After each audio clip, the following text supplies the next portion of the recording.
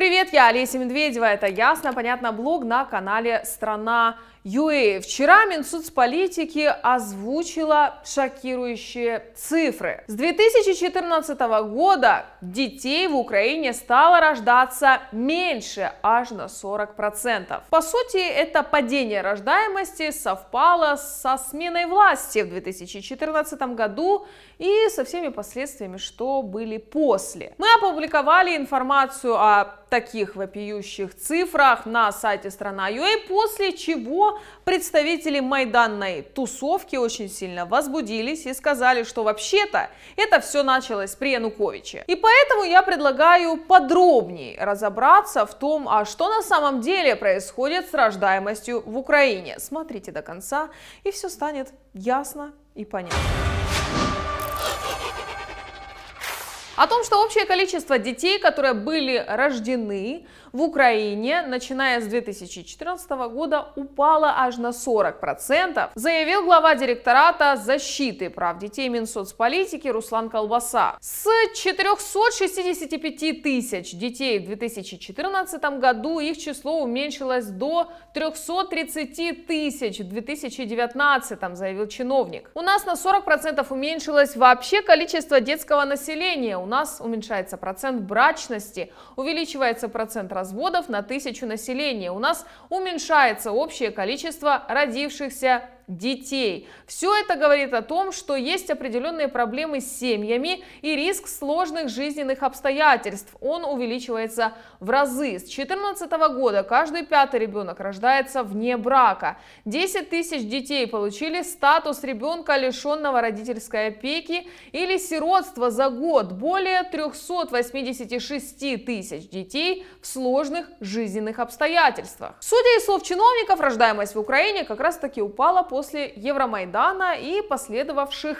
за ним событий. На самом деле такие данные в нашей стране звучат не впервые. В 2011, 2012, 2013 годах уровень рождаемости в Украине был примерно 500 тысяч в год. Начиная с 2014 года, с 2014 по 2016, за прошлый год, тут речь идет о 2018, мы вышли на цифру, немного превышающую 300 тысяч родов. На 40% родов в Украине стало меньше. И это кризис, это даже не кризис, а пропасть. Она наслоилась на демографическую пропасть 90-х годов, когда почти в два с половиной раза рождалось меньше детей. И дети, которые родились в 90-х, уже бы рожали своих детей, рассказывал год назад акушер-гинеколог Вячеслав Каминский. Так что же на самом деле у нас с рождаемостью в стране? С момента обретения Украины независимости рождаемость неуклонно снижалась. И в 2001 году этот показатель достиг тогда наинизшей отметки.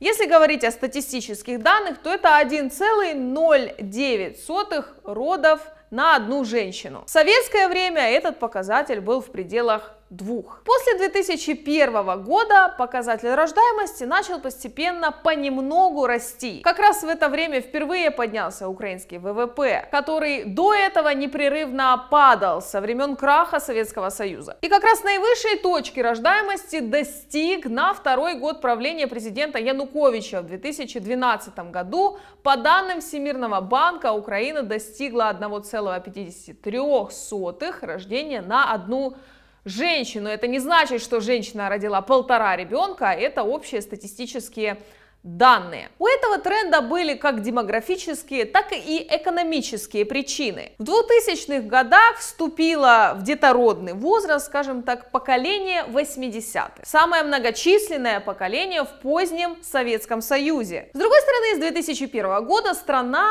наша независимая Украина, постепенно начала выходить из экономического кризиса. И начался рост экономики, плюс росли доходы населения. С коротким перерывом на кризис 2008 2009 годов. Кроме того, Рада и правительство резко подняли сумму помощи для новорожденных. С 1 января 2011 года эта помощь составляла 18 тысяч гривен. Но это больше 2000 долларов за первого ребенка, за второго 37 тысяч гривен. Это более 4 тысяч долларов. А за третьего и последующих 73,5 тысячи гривен. Это больше 9 тысяч долларов. Поскольку мне посчастливилось родить в 2010 году, помощь на ребенка я даже получила. В 2014 году Кабмин Яценюка отменил эту дифференциацию за первого, там, второго, третьего и каждого последующего. И ввел помощь на любого ребенка в размере 41 тысячи гривен. По нынешнему курсу гривны это примерно полторы тысячи долларов, из которых 10 тысяч платится сразу, а остальное там разбивается на помесячные выплаты. То есть по факту пособие очень сильно снизили. Рождаемость держалась на уровне выше 1,5 1,5 до 2015 года, после чего начала резко падать. В 2016 году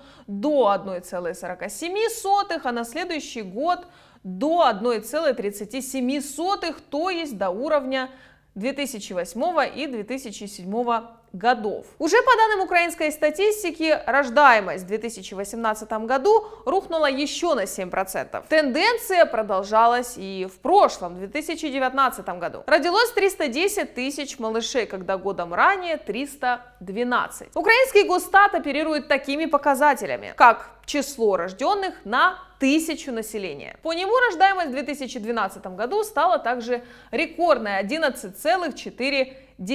В 2013 году она осталась выше 11, что также для независимой Украины достаточно много. И лишь в год Евромайдана рождаемость упала ниже этого показателя, а дальше начала падать еще быстрее, что мы можем увидеть на вот этой вот кривой. Ну и хочется сравнить, да, а как с этим обстоят дела у наших соседей. В России такая же тенденция, как и в Украине. Рождаемость начала снижаться, начиная с 2015 года. При том, что общее количество населения росло, возможно, за счет мигрантов, в том числе с Донбасса. Однако в целом детей у россиян рождается больше. Если сравнивать с Украиной 2020 года, то в Российской Федерации на 100 россиян рождается один ребенок, в то время как в Украине на 120 украинцев рождается один ребенок. И это мы исходим из данных Минюста о наличном населении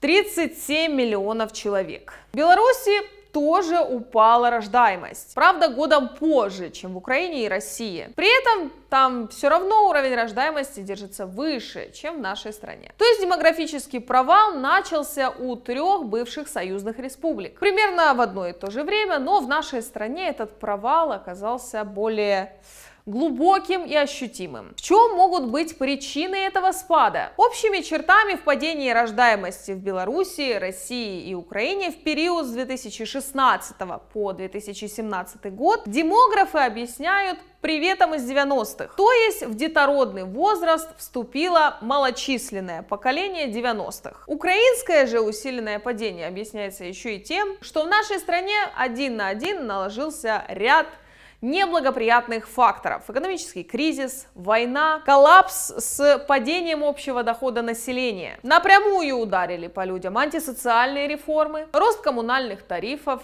уменьшение или отмена пособий на детей и прочие меры экономии, которые были имплементированы в нашей стране по требованиям западных партнеров, в частности МВФ. Все это, я напомню, запустил Кабмин премьера Яценюка и благословил Петр Порошенко. После чего все следующие правительства эти реформы, так сказать, никакой ревизии не подвергали. Все ок, всех все устраивало. Ну, я имею в виду представителей власти, не, не людей, конечно. Также в упадок начала приходить промышленность, которая была завязана в основном на Российскую Федерацию. И это действительно произошло после Евромайдана и последовавшего за ним конфликта на юго-востоке Украины. Началась полемика в сети, очевидно, да?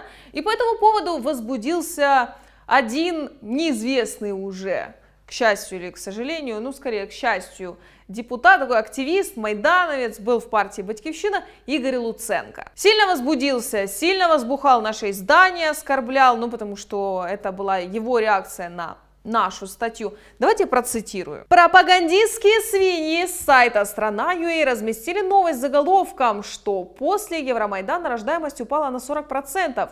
Это, конечно, правда, то есть он признает, что мы написали правду, но корректно было бы брать для оценки тенденции не Евромайдана, он, как видно из графика, никак не повлиял на состояние дел, а сначала тренда падения рождаемости, а именно с приходом Януковича к власти. Именно с 2011 года началась четкая тенденция к падению этого демографического показателя. Конец цитаты. Меня, вот знаете, очень сильно поражает это словесное недержание украинских политиков, особенно тех, которые уже как бы ушли в забвение уходя, уходи. Вот любят они, да, обозвать кого-то, назвать пропагандистами, свиньями, оскорбить, вот это вот, вот это все. И при этом врать, врать и очень много врать. Вот то есть такой, знаете, типичный пост украинского политика. Оскорбление, куча лайна, простите, и ложь. На графиках прекрасно видно, что пик рождаемости пришел на 2012 год, а в 2013 этот показатель лишь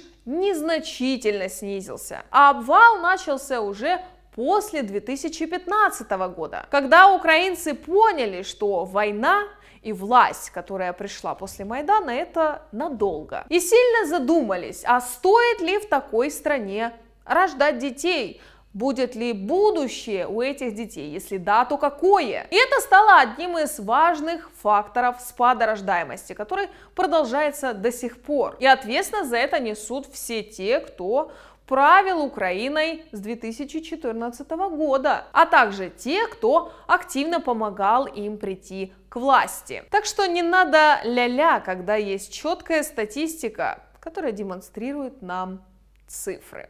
На этом у меня пока все. С вами была я, Олеся Медведева. Ясно, понятно, блог на канале Страна.ua. А что вы, друзья, думаете о демографической ситуации в Украине? Что на это может повлиять хотя бы в теории? Ну и делитесь, конечно, кому не жалко, сколько у вас детишек. У меня, к примеру, один. В общем, увидимся в комментариях. Приглашаю вас к дискуссии. Совсем скоро увидимся. Пока.